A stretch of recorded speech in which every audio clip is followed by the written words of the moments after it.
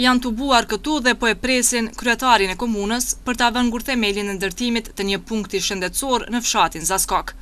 Banorë të fshatrave Pleshinë, Zaskok, Dubrave, Doganaj kishin ardhur në këtë përurim me gëzimin se po i afrohen shërbimit mjekësor.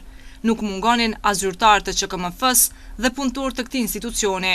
Këshilltari i kësaj zone, Set Shatrolli, njëherit edhe kryeshef ekzekutiv i QKMF-së në Ferizaj, tha se ndërtimi i kësaj qendre shëndetësore në këtë zonë rurale do të jetë një zgjidhje jetike për banorët. Me ndërtimin me e kësaj qendre do të shkarkohet qendra kryesore e mjekësisë familjare pasi ky rajon, domethënë këto fshatra që i përmenda ma herët, deri tash shërbimet i morrin në qendrën kryesore të mjekësisë familjare. Prandaj sipas rregullave të mjekësisë familjare, aty ku është më afër, siç e kemi bërë edhe rajonalizimin, domethënë në komunën e Ferizajt, atëherë kjo sasi kjo ky numër i qytetarëve, domethënë edhe i pacientëve, klientë avtarë që janë këto rajone, atëherë do t'i marrin shërbimet pikërisht në këtë qendër ku ku sot do të fillon ndërtimi i saj.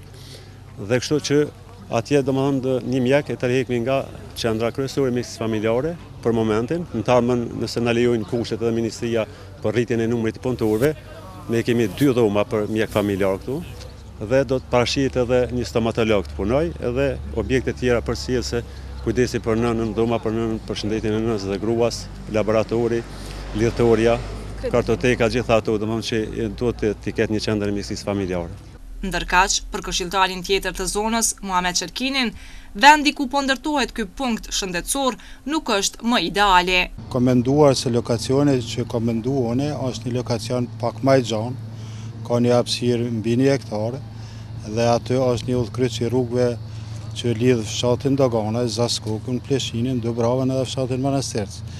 Dhe sigurisht se aty kishte me qenë një nyje ku qytetarët do të mund të kyçeshin më lehtë, po megjithatë edhe këtu kjo pozitë, fatmirësisht, nuk mund të thojme që është e keqe, është pozitë e mirë, po kem pas edhe pozitë edhe ma të mirë. Për atë edhe unë e kom kërku që aty të jetë një, një ambulantë, sepse pozita është ma e mirë aty ku kom thonë unë. Ky projekt po realizohet me fonde të Ministrisë së Pushtetit Lokal dhe të Komunës së Ferizajt. Projektin të cilin unë e kam bë, projektin të cilin kam konkuru, ka kushtu rreth 150.000 euro.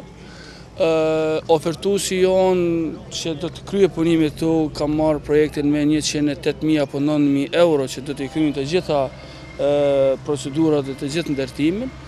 Do të thotë ne si komunë participojmë jo më shumë se sa me 30.000 euro. U bë e ditur se në bazë të kontratës firma ndërtuese këtë punkt shëndetësor do ta përfundojë brenda tre muajve.